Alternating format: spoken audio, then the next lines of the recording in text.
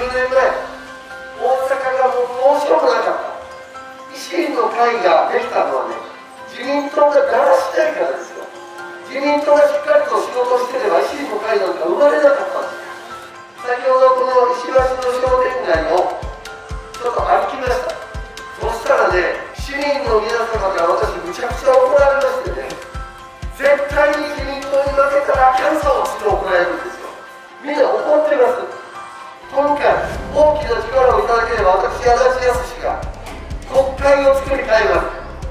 マネーオとマネ与党がマネー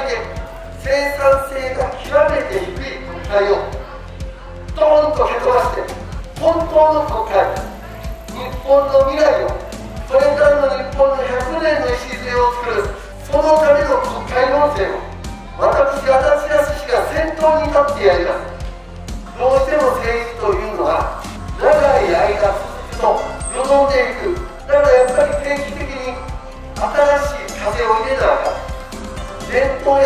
というものを守りながら池田市長滝沢市長の仕事を国会から全力で応援していく池田を前に進めていくことができるのは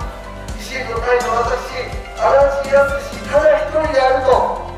皆様にはぜひ確信をいただきたいと思います私を小選挙区で勝ち抜かせていただきたい。それがそのまま池田の新しい政治にもつながる。